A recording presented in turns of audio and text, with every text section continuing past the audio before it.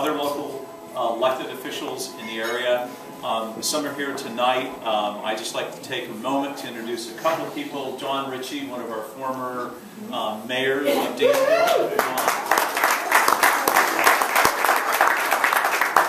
Uh, a really close friend of ours that many of us has known for many years who served so well and so long on our school board, San Ramon's newest mayor, Bill Clarkson.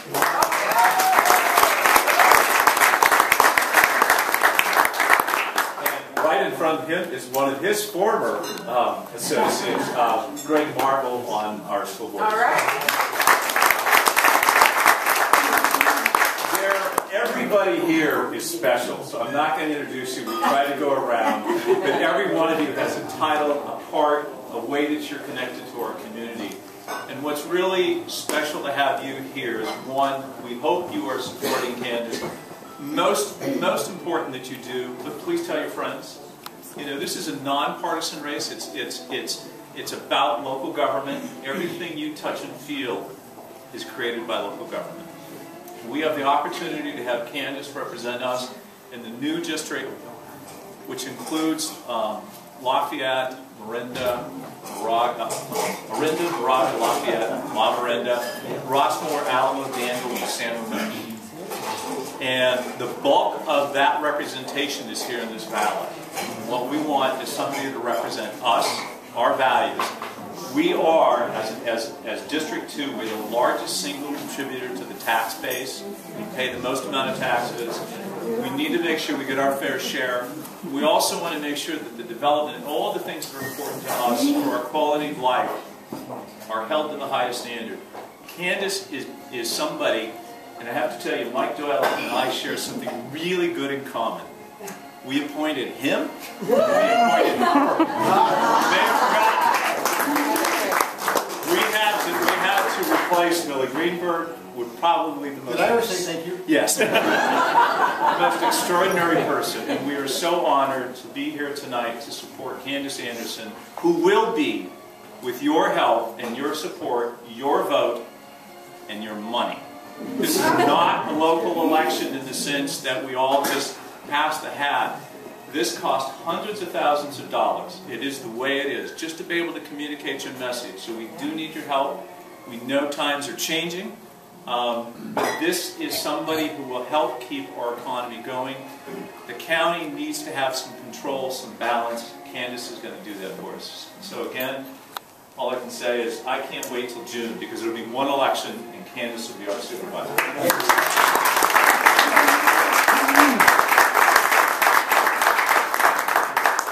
First of all, I've got to say thank you to these great men up here and Karen who have hosted this wonderful event tonight. Thank to all of you for being here this evening as well. I appreciate so many of you who I already know, who I consider dear friends. Those of you who I don't know as well, but you will be my dear friends. So I as well. We're at a critical time in the county. And it's a time when experience really is going to count moving forward. We need to reestablish our priorities. Number one priority to me is law enforcement. Right now, we have an issue where we have underfunded sheriff's department, underfunded DA's office, and we're not able to prosecute all of our misdemeanors. We're not able to even investigate all of our misdemeanors. The majority of people in our community want a safe community. And for Danville, we have had law enforcement always our number one budget priority, and on the county level, it should be also, because it's very, very important that we adequately fund those areas. Number two is simply the economy, the budget. We've all read about the pension issues. We, we have to make sure that we don't have any spiking of pension, any pension abuse, but more importantly, that we realistically look at what is happening to our pensions. How are we going to have these adequately funded? Are we going to ensure that our workers do get the pensions they do deserve, but that they don't abuse the process in any way, and that we as taxpayers can afford those pensions? We need to use realistic numbers. We need to make sure that we are able to afford what we are telling people we are going to promise them when they retire. And it just comes down to being taking a realistic approach about that. It's about quality of life in our community.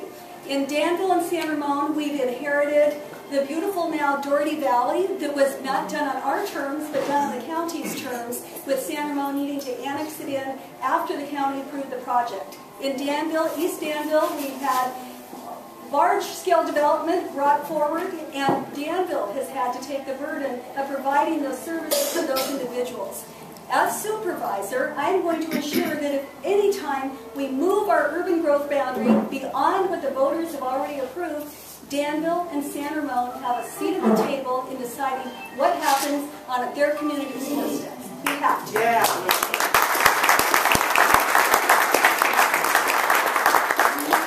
It's also about turning around the economy, making it easier to do business in Contra Costa County. I look at what we've been able to do in Danville with our business concierge program, with the grants we've offered to businesses that have helped our businesses survive this last four years recession we've been in.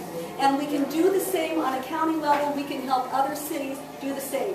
We need to help the building industry turn around as well. We need to ensure that we streamline processes so that building can go on because of the trickle-down effect on the economy.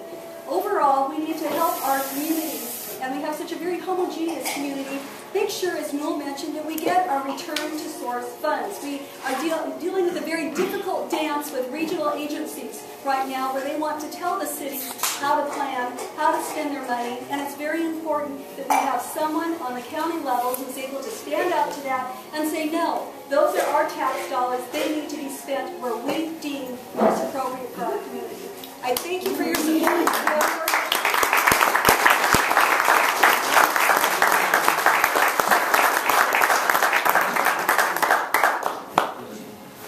Oh, Chris, come on, I want a really good speech. To my old- older partners back there, not, I shouldn't say older, I'm the oldest. Retired President Jim Bicker for the Deputy Sheriff Association, current President Ken Westerman of the Deputy Sheriff Association. Oh. We should get that I shouldn't Put this out there, but this is a partnership with the Sheriff's Department and the Board of Supervisors. Our Sheriff's Department is the lowest paid in the county, and they're expected to do a lot. I want to get in that kind of thing with this event, but they're here to show support and try to figure this out so we can all together benefit from the uh, solutions in the future. So I thank them for coming. Yeah. All right, thank you.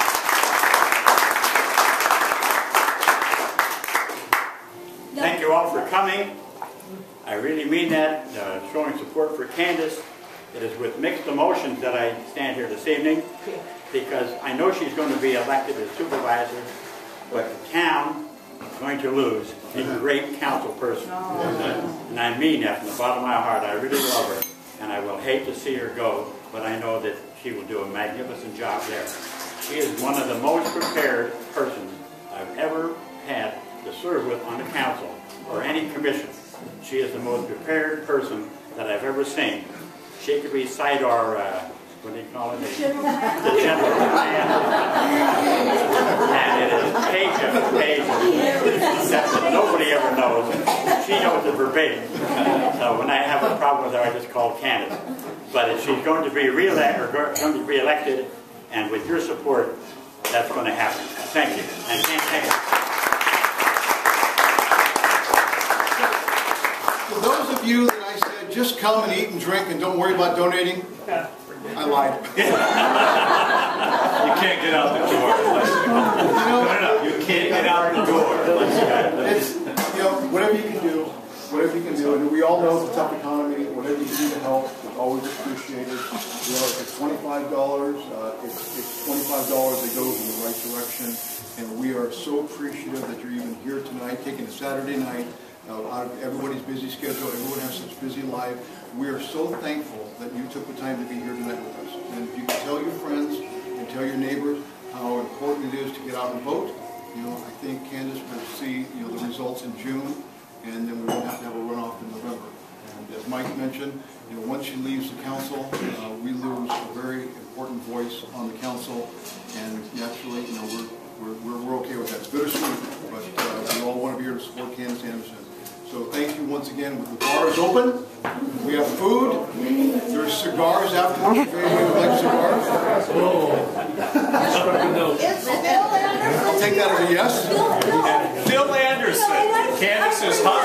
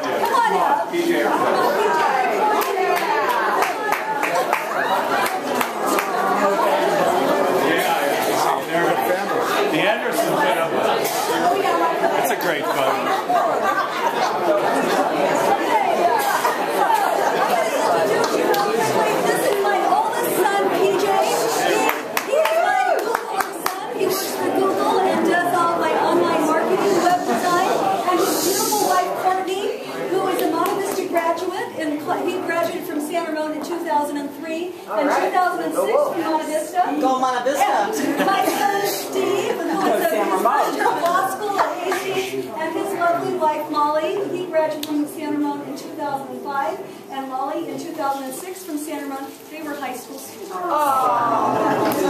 And this is my cute daughter Elizabeth, who is a junior at San Ramon. And this is my son Sam, who is in the eighth grade at Charlotte Wood, and his good friend Weston Neron, who came along for the fun.